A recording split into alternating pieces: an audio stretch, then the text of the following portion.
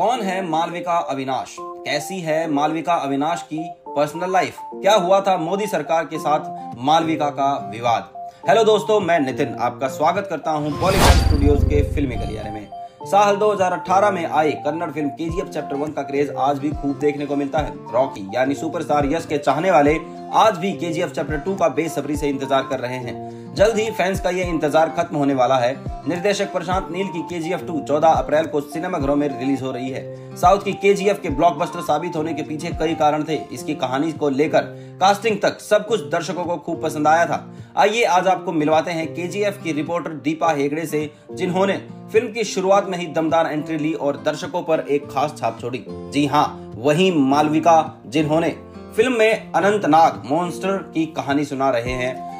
बता दें, मालविका अविनाश ने करियर की शुरुआत बतौर चाइल्ड आर्टिस्ट की। इसके बाद वो कन्नड़ फ़िल्मों में बतौर हीरोइन नज़र आई। उनकी iconic performance Kannada project Maya Mruga में देखने को मिली। इसकी सफलता के बाद उन्हें तमिल सिनेमा में एंट्री मिली। वो मशहूर टीवी सीरियल अन्नी में बतौर लीड एक्ट्रेस नज़र आई। आज के समय में मालविका कन्नड़ के अलावा मलयालम और तमिल भाषी फ़िल्मों में भी काम कर रही हैं। जय जय, आरू, दृश्यम, आथी, ड्रामा, मायने ring road mister and missus Ramachari, boomerang Rudra थंडवमी सकाथ enemy Kaithi, David, Mukunda Murari और देशमुख जैसी कई फ़िल्मों में नज़र आई। वहीं मालविका के टीवी करियर की बात करें तो वो माया मुरुगा के अलावा अन्नी, मुक्ता, अरासी, पारू, मुक्ता और चेलेमाई समेत कई सुपरहिट टीवी शो का हिस्सा भी रही।